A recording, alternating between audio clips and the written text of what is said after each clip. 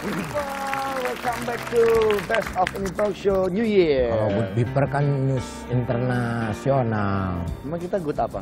Kita gujubar gitu. Halo gujubar semuanya. Gujubar, Berjumpa ya. kembali bersama kami di The Best of Info Show Show tahun baru. Kan. Yang jelas di bulan eh, apa di tahun yang baru ini, mari kita ciptakan suatu hal yang baru juga. Iya. Ya. Jadi kata pepatah Ya oke. waktu kita keluar negeri ya, Oke. kita ada seorang eh, politikus, Oh ya. ya, politikus di sana, Mr.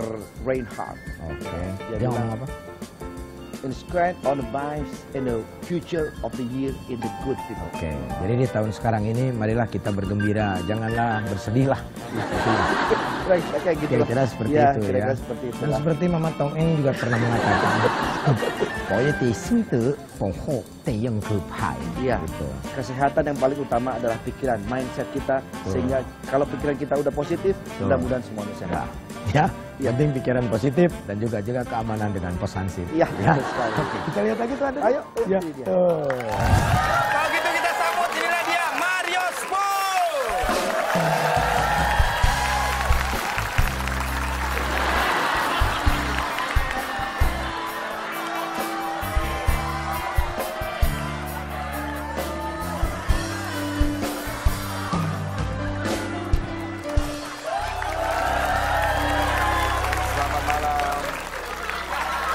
Kok nggak dilihat?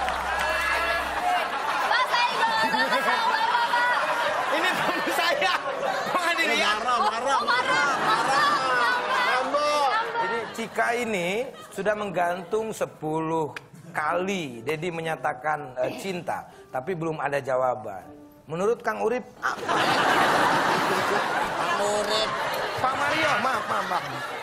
Menurut Pak Mario, ada nggak tips yang memberikan untuk mereka bisa jadi? gitu?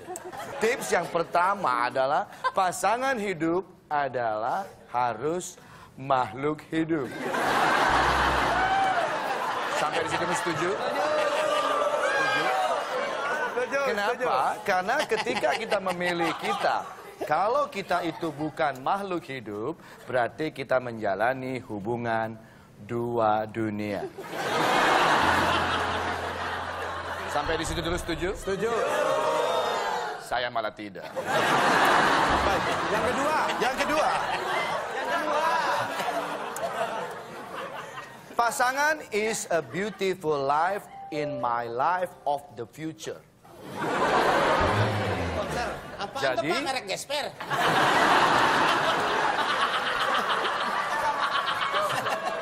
pilihlah pasangan hidup. Pilihlah pasangan hidup Anda yang sesuai dengan our hearts. hati. Hati kita. Ya. ya hati-hati dalam memilih pasangan harus sesuai dengan hati kita jangan sampai anda memilih pasangan kita sesuai dengan hati tetangga kita itu tidak akan mungkin terjadi sampai di situ setuju Setuju. Oke dan ini yang terakhir yang sangat penting adalah Bapak kita mau mati? harus bagaimana Oh ini omongan terakhir. tiga tips Tipsnya. tips yang ketiga Tipsnya yang ketiga. Tips yang Bukan ketiga. yang terakhir dia. Ya. Jangan pernah Anda memilih pasangan Anda dengan memaksa. Misalnya. Karena kalau Anda memaksa, itu bukan bagian dari pilihan Anda. Tidak. Ya, karena memaksa itu adalah tugas seorang koki. Masa?